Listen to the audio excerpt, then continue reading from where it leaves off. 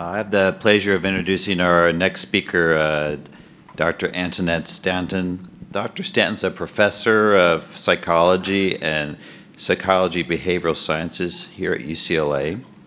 She's a senior scientist at the Cousins Center for Psychoneuroimmunology and member of the Center for Cancer Prevention and Control uh, Research in our Cancer Center. Her team uh, is embedded with us in clinic every day um, and uh, makes very important contributions for really mental well-being of our patients. Uh, and this is Dr. Uh, Stan uh, Stanton's expertise. I'm delighted to be here with you today, and I'm inspired.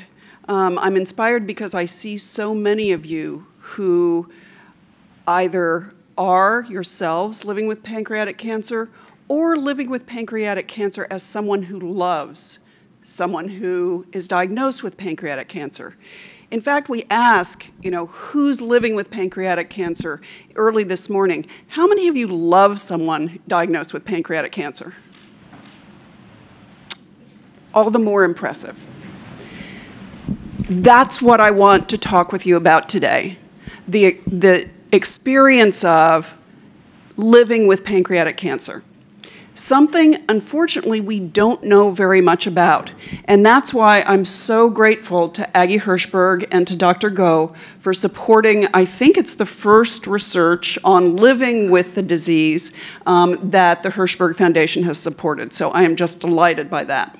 So what I want to talk a little bit about is the impact of the disease on the person and on the caregiver, what we do know so far, um, in physical, psychological, social, and spiritual dom domains because we know that cancer affects the totality of life, not just one domain, and certainly not just the physical. I also want to talk a bit about contributors to well being in people who live with the disease. Now, what we know about this is actually not from people living with pancreatic cancer. We know about this in people living with other cancers. And so that's part of the, what we're trying to do in research understand what contributes to well being in pancreatic patients here at UCLA and also uh, around the area. And then I'm going to talk about coping strategies for living with pancreatic cancer. So, um, the first initiative that the Hirshberg Foundation funded, which will be published, I believe, next month. It's out? Oh my gosh. We have a new publication. Please go read it. Um, we just did the proofs. Um, this is this is really a credit to my wonderful graduate students and collaborators. So Maggie Bauer, Emma Bright, James McDonald, Elizabeth Cleary, Dr. Hines, and I were um, published in yesterday um, a paper on what's called a systematic review of understanding quality of life in people with pancreatic cancer and their caregivers.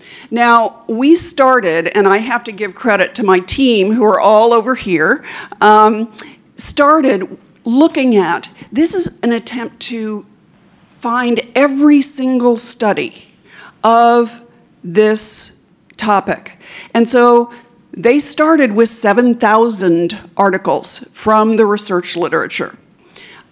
We ended up with 36. There are 36 scientific articles, either quantitative studies, so really trying to measure how people are doing with living with pancreatic cancer, or what are called qualitative studies, which is trying to understand the lived experience. And there are only seven articles that did include caregivers, and then there are only 36 articles all told. Now that compares to thousands of articles on the experience of living with breast cancer. Um, and so certainly it's not that breast cancer is not worthy of study. It's that pancreatic cancer now is coming to the table as something very important to understand the lived experience and then to translate those findings. And this is why publication is important to me, I think. Translate our findings into effective ways to help, just as Dr. Donahue said. Um, We, I will tell you a little bit about the study we're launching, also um, funded by Hirshberg Foundation, on, it's called the PACES study, and I'll tell you a, bit, a little bit about that. But what we're going to try to do is add to those 36 studies by understanding the experience of patients and caregivers and trying to figure out what helps and hinders them as they experience the disease. So in this, some of the artic- some of the findings I'm going to review today are from this systematic review that's published in, Pancre- in Pancreas, which is the um, journal that Dr. Go edits. Um, one of the things that was very clear is that there are physical symptoms, and you know this as well as anybody knows this. There are physical symptoms that affect people's lives when they deal with pancreatic cancer and its treatment. The most common ones appear to be pain. The studies suggest that 30% of more or 30% or more of people dealing with pancreatic cancer experience pain. And of course that depends on where they are in the disease, where they are in treatment, etc. But 30% or more. Fatigue and disrupted sleep is another very common experience. And again, 30% or more seem to experience significant fatigue and disrupted sleep, of course, depending on who they are, the treatment, where they are in the process. Many of you know digestive problems, poor appetite, weight loss. Um, these are both, as Dr. Um, Tempero said, from the disease itself. the biology of the disease actually triggers weight loss, for example, and of course can contribute to digestive problems. Treatment also contributes, obviously, to physical symptoms, diarrhea, more weight loss, digestive problems. Oh, then there, are, I, I forgot that I was going to say that. There are treatment related problems specifically, including it depends on the treatment you're on, but you can, can have neuropathy, which is that either loss of sensation, sometimes pain in your hands and feet, particularly your legs. Sometimes it interferes with fine motor, sometimes it interferes with walking. And so neuropathy can be a particular problem. Diarrhea can be a particular problem. And what we know and what you all know is these symptoms themselves can cause life disruption and distress. Now, let's talk a little bit more about both the physical experience and the psychological experience. Let me orient you to this, to this chart. Um, these are experiences, and these, these are people with pancreatic cancer and their caregivers. The red bar are caregivers, the purple, we'll call it, uh, bar are patients themselves. And these are the kinds of reports that patients and caregivers do report. The um, tiredness and worry seem to be the very most commonly reported problems.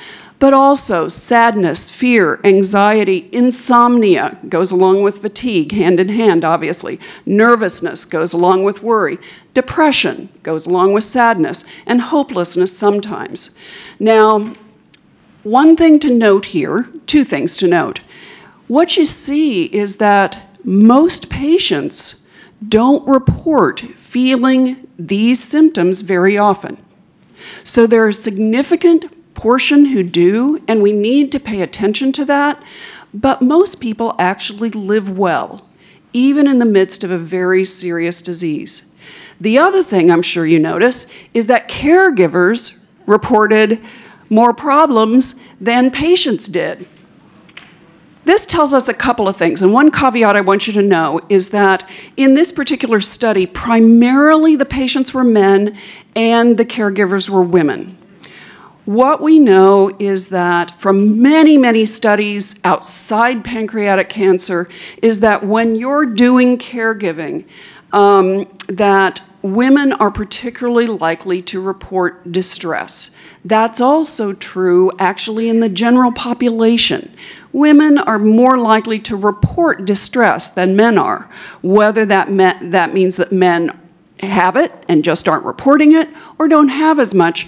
We could talk about that later. But you see what the other point in this slide is that caregivers live with pancreatic cancer too. I want to mention depression specifically for just a moment. Um, because I'm, I would guess that there are some people in this audience who have experienced depression, either as a patient or a caregiver.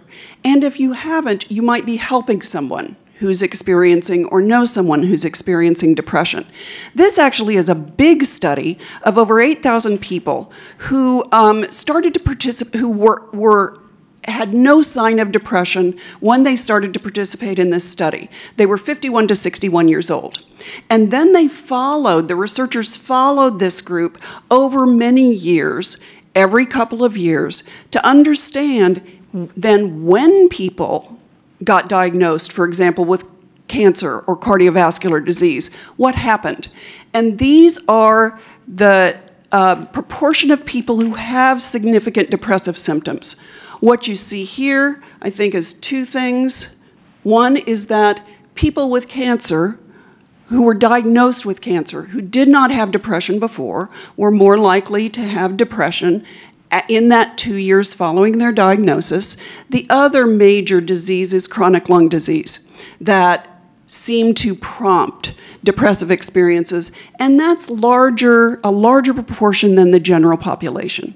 So people are at risk for depression when they get diagnosed with cancer. What we know that's special about pancreatic cancer, and I mention this because I want to make something clear about it. That is that depression in pancreatic cancer has probably been the most investigated quality of life aspect of pancreatic cancer. There are several studies now that suggest that depression or feeling sad, lack of interest in activities, other kinds of symptoms of depression sometimes begin before the pancreatic cancer is diagnosed.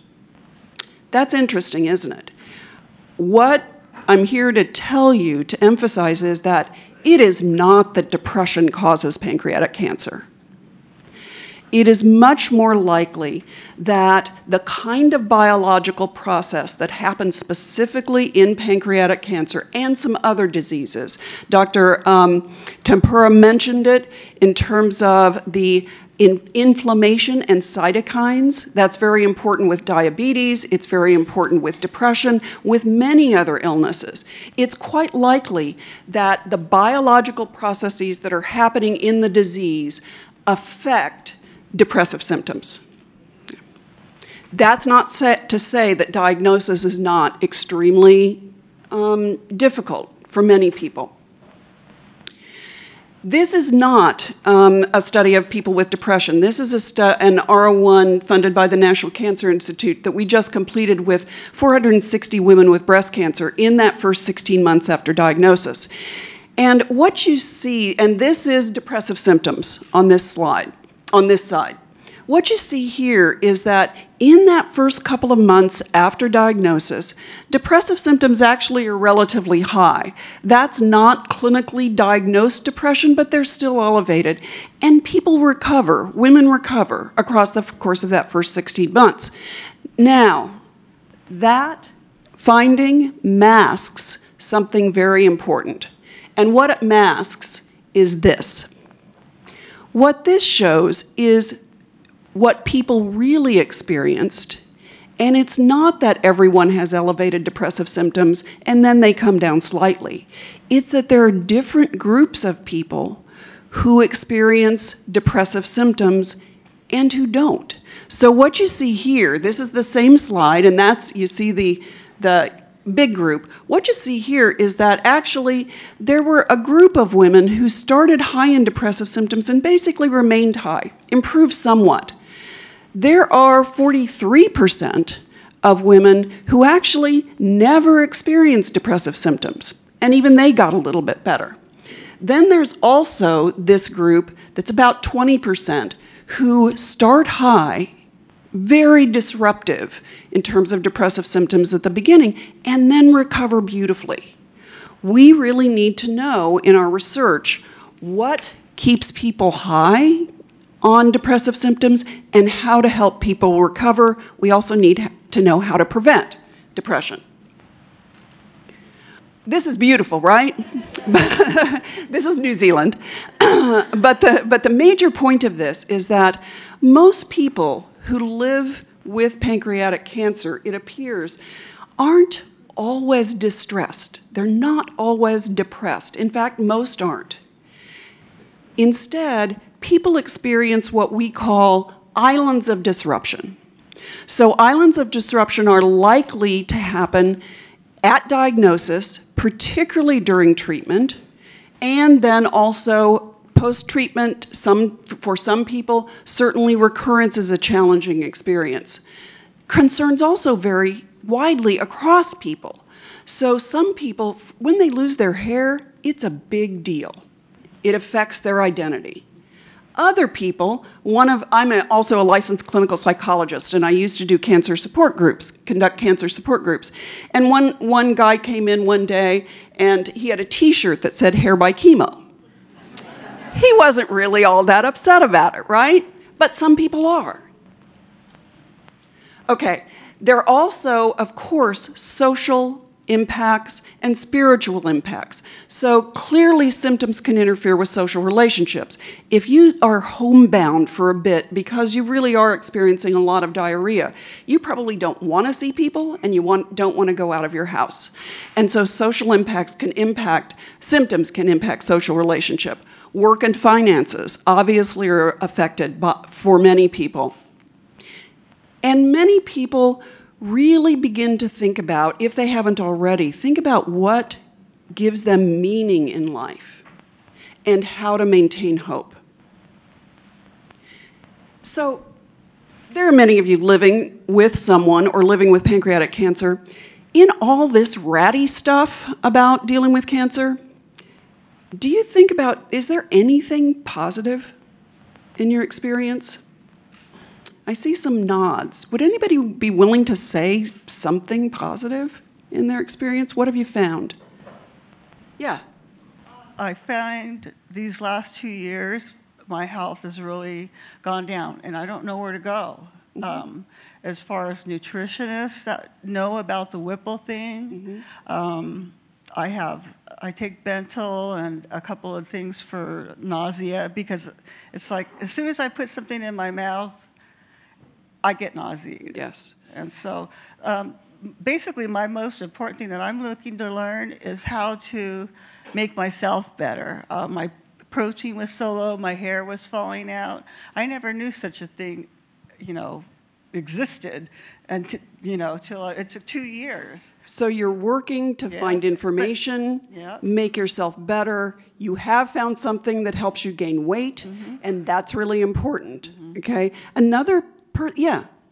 I always had really long, thin red hair that I struggled with my whole life to make look stylish. Uh-huh. As soon as it fell out and I had it cut within like a quarter of an inch, everyone in my whole life told me how fabulous it looked. and I love it and I intend to keep it. Okay. okay. So you're beginning to capture some of the ways to cope and some of the things that people say are positive aspects of their experience. This is a quote not from somebody with pancreatic cancer, but from someone, someone else participating in my research. I have people write about their experience, and she talks about the goodness of her family and friends. My guess is some of you have experienced that. I make more time for my friends and family I begin to live according to my priorities, right? I do things more for myself and I don't feel guilty about it. That's something new sometimes in people's lives. When I think of the future, I realize that it may not be as long as I had thought, but having cancer makes me appreciate this moment. I see some nods. To sum that up, people talk about enhanced relationships, deepened appreciation for life, focused priorities, greater spirituality and meaning in life, increased personal strength, and attention to healthy behaviors. So, those are the kinds of things that people find to help them through what can be a difficult experience. But I want I have to say something. Especially in the United States, we're sometimes expected to be positive and strong all the time. You know, some people have bad hours, bad days, bad months with pancreatic cancer. And so I hope that you don't take this to mean that you should always be positive and strong. So, caregivers, as we saw in the prior slide, also have an important role to play and themselves are affected, of course, with living with the disease, providing support on treatment days and beyond, talking with the doctor, asking questions. Sometimes it's not the person diagnosed, it's their caregiver who is, uh, who is assigned to be the one to ask questions, to get information. Arranging and attending medical appointments, helping with managing diet is often in pancreatic cancer very important. Managing the household, updating family members and friends. So a lot falls to the caregiver to do. So, caregivers experience psychological and physical consequences. You also saw, you saw fatigue up there as an important caregiver experience. Um, and some conceal their emotions to help make it better for the patient. In fancy psychology language, that's called protective buffering. And it's well intended. When you try to protect your partner or your ad adult children or your younger children from distress yourself by not talking about your emotions. It's very well intended, but it sometimes can impede communication. You just don't end up talking to people about your experience. Okay, relationships, however, what's found in starting to be found in pancreatic cancer, but also certainly in other cancer problems, is the importance of relationships. So in a large-scale review covered, um, published several years ago, emotional support was the kind of support most desired by people living with cancer, and it was also had the strongest relationship with later psychological adjustment. So emotional support seems particularly important. This next quote is from someone living with pancreatic cancer, the importance of caregivers and families. Informational support also can be really helpful if it's from a credible source, like Dr. Donahue, like somebody who really knows what they're talking about, because pancreatic cancer is different than other cancers. And even some of you in this room have had very different experiences with pancreatic cancer. So finding credible sources obviously is very important. And then there's always the challenging challenge of accepting help. Many of us go through lives helping others, and it's hard to accept help. But in the cancer experience, people often find that being able to accept help from other people gives them some way, something that they can do. And it's really important for them that you allow them to support you. Okay, so coping. Uh, this is my major area of research, and so it's like having a toolkit um, we know that what, what works for one doesn't work for all, that some coping strategies are more helpful than others, however. We do not have the research in pancreatic cancer yet, and that's what we're doing right now. Past coping strategies may be helpful or not. You may need to develop some new strategies. One thing we know is that this ends up not being so good um, avoidance. So in other cancers, what we find is that trying to push thoughts and feelings out of your head about your experience ends up, even prior to the cancer diagnosis, ends up predicting poorer adjustment after the diagnosis. Also, avoidance at diagnosis predicts poorer adjustment down the road prior to and after surgery, and three years later. So, really trying to push thoughts and feelings out of one's head doesn't seem to work very well, and in fact, bites you back. Um, in that people are more prone to depression and other kinds of problems. But focused distraction can be really helpful. Isn't it wonderful when you have some minutes or hours or days without thinking about cancer? Focusing on something meaningful in your life can be very important. What we found in many studies, not in pancreatic cancer, but in others, seeking information and resources, very important. Identifying the needs of different family members, actively accepting that this is something that you're living with. Finding time to identify, acknowledge, and express emotions, accepting support, communicating with your healthcare team, using the spiritual resources you have. In many studies now, although not in people with pancreatic cancer yet, we find that these more approach oriented strategies are more helpful in reducing depression, improving quality of life, improving um, mood, and improving physical symptoms. There are many supportive resources that you can take advantage of. The Hirshberg Foundation, obviously, the Simms/Mann Center, UCLA Center for Integrative Oncology. Actually, if you want to talk about this center, it's a free center at UCLA, and one of my, um, I had the honor of having a PhD student who now is a psychologist who attends the lunch meeting and not just for lunch. Elizabeth Cleary is here. Uh, if you'd like to talk to her, she has many, many resources. There are also mindfulness classes that are available, the Center for East West Medicine, et cetera. So there are many resources, and I'd be happy, we'd be happy to connect you with them. And Lizzie also, I'm sorry, Dr. Cleary also is, uh, is very happy to talk with you. Okay, research is very lacking. What you'll see in your bags is a uh, brochure about our research, the research that the Hirshberg Foundation is, um, is supporting on understanding the experience and how best to cope. It's three sessions, one in-person session and two over the phone or on paper. Um, and then Doctors Doring and Lee have another study upcoming, I believe will start inviting people in about three months. And that actually, Dr. Doring, do you want to say one thing about it? We want to let you know that um, the Hirshberg Foundation has funded this study, and we're going to be following up from Dr. Stanton's study and inviting some of you who have participated in that study to join ours, where we'll be doing an intervention to help patients and caregivers um, in their cancer trajectory. Thank you. Okay, so that'll be coming up. Look in a few months. So, finally, what we know we know that most people do well and that relationships and coping are very important in helping one do well.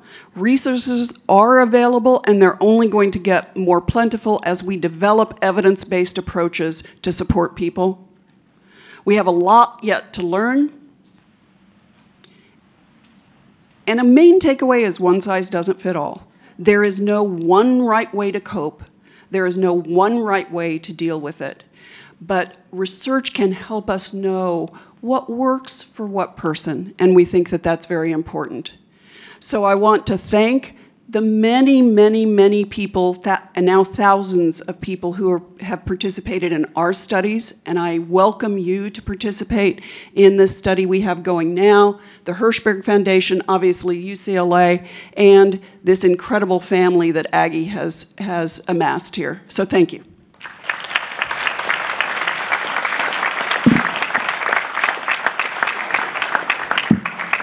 Thank you, Dr. Stanton. Wonderful talk. Uh, some questions from the audience. Joe, this is Steve. Excellent talk. Um, although I'm more of a biochemist and population scientist, I want to say I want to say what you're doing is extremely important.